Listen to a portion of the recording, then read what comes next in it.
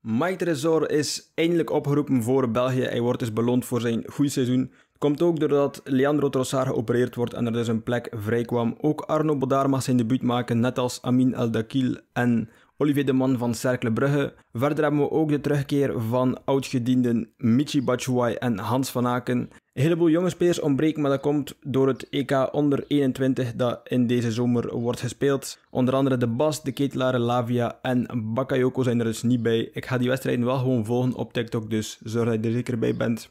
Wat vinden jullie van deze selectie? Laat het mij zeker weten, ik ben zeer benieuwd naar jullie mening.